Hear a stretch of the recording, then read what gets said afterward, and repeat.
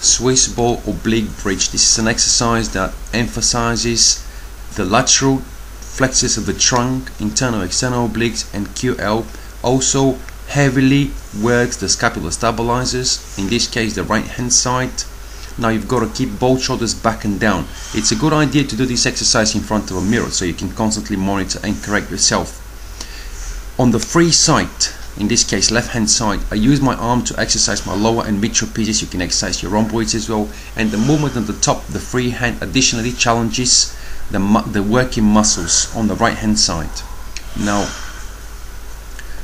when you use the whole length of the forearm the exercise is somehow easier. When you use just or predominantly the elbow the exercise gets much harder because you have a less um, contact with the uh, um, unstable base. Draw the abdominal wall inwards until you form the oblique lines and hold it for as long as you want, anything between 5 seconds and 60 seconds. Great exercise, enjoy.